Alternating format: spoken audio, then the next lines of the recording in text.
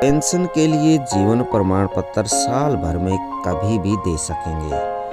Pension भोगियों को कर्मचारी भविष्य निधि संगठन ईपीएफओ ने एक बड़ी राहत दी है। ईपीएफओ के मुताबिक पेंशन भोगी अब जीवन प्रमाण पत्र कभी भी जमा कर सकते हैं। यह जमा करने की तिथि से एक वर्ष के लिए मान्य होगा। पेंशन भोगियों को हर साल नवंबर में जीवन प्रमाण पत्र जमा करना होता था। जो जमा नहीं कर पाते थे, उनकी पेंशन रुक जाती थी।